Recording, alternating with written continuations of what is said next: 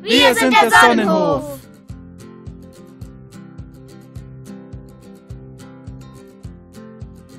Sag mal, habt ihr Rufus gesehen? Ich weiß nicht, wo er steckt.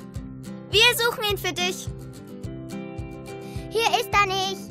Peter, hilft uns suchen.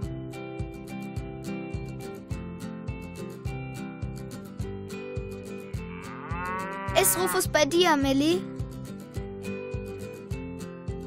Schade. Hier ist er nicht. So viele Hühner, aber kein Rufus. Schauen wir mal auf dem Heuboden nach.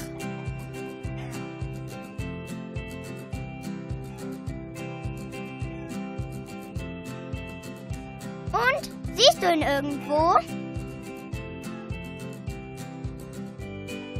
Nein, hier ist nur Heu.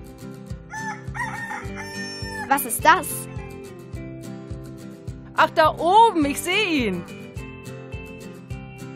Rufus, du bist der frechste Hahn, den ich kenne.